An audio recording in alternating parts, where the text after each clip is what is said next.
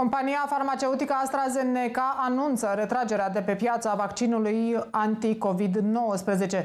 AstraZeneca a precizat că a luat această măsură la nivel global ca urmare a cererii tot mai scăzute, care ar fi fost cauzată de un surplus de vaccinuri actualizate disponibile.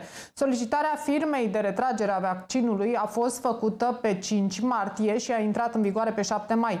De-a lungul timpului au existat numeroase controverse cu privire la eficiența vaccinului AstraZeneca, iar recent compania și-a și recunoscut că vaccinul său a provocat într-un număr redus de cazuri efecte secundare, precum formarea de cheaguri de sânge, dar și scăderea numărului de trombocite.